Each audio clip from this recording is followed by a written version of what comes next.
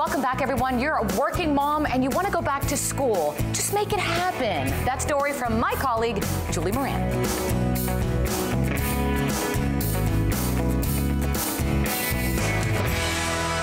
I'm thinking that a good title for this segment could be No More Excuses.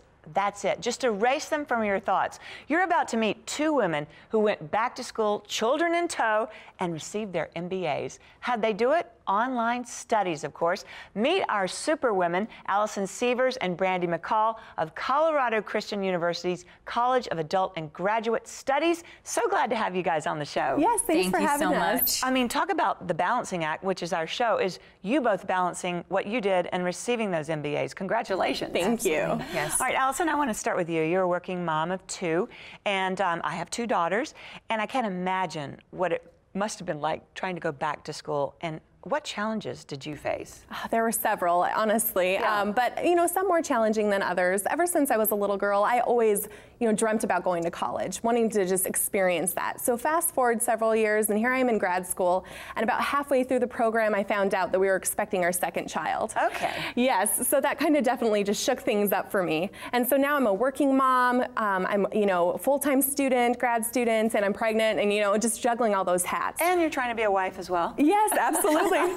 and so, you know, some challenges came up like that, or you know, just little things that come up in, you know, in life. And so, you know, it's just about carving out that time and just making sure that you're making it a priority. But I had the support of my husband, my family, um, students in the classroom like Brandy uh, with me that just really just um, encouraged me to continue on. And I'm just so glad that I finished. And Brandy, you over there with four children, working mom, that must have been so tough. How did you do it? Yes, it was tough. You're absolutely right. And like Allison mentioned, you know, you have to make a priority as to whether or not you submit an assignment. You know, if you have a paper due that evening, or you know, if you have a sick child that you want to cuddle with because they're not feeling well.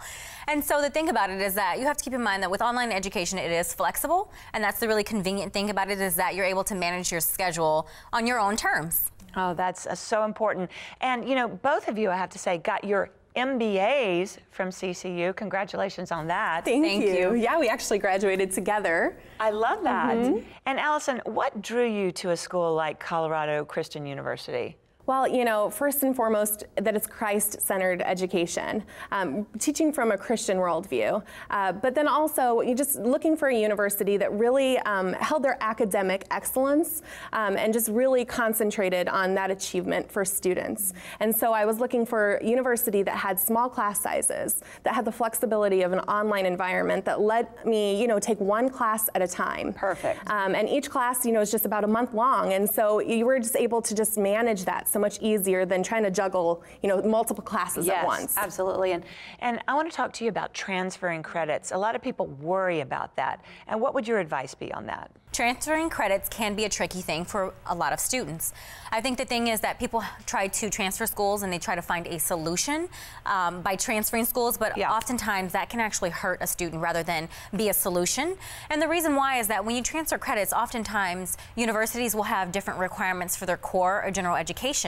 And so students don't realize that. The thing about it is, when you transfer, you could potentially be losing a great deal of your credits because of the different And you requirements. don't want to do that. You don't. the cool thing about CCU is that we do have a very generous transfer credit policy. And another thing that students don't realize is that we will also offer credit for life experience. Perfect. That is huge. Life experience is huge. Now, we talk about CCU and the word Christians in the title. What would you tell them about CCU? Well, I would say that Christ is at the center of the university. Everything that the university does, every class that you take at CCU, um, really just teaches from that Christian worldview that I spoke of earlier. Um, but also, I would say that the College of Adult and Graduate Studies, which includes the online program, uh, doesn't require that students sign a statement of faith or that they're Christian to attend. So they welcome any student to apply to the university. Wonderful. And so, really, what that allows for them to do is to be able to experience a university that is, um, you know, centered on values. You know, there's a right way to We do things and a wrong way a to lot do more things. values in exactly. today's society. Yeah, absolutely. And I want to say, if Brandy, if you can do it, all of our viewers out there with four kids and working, mm-hmm. anybody can do it, Yes, right? Absolutely. It just takes the will. Yes. Ladies, you're inspiring. Thank you so much for being on the set today. Would love having you. Thank you. And for more information on returning to school on your time, visit ccu.edu or our website, thebalancingact.com.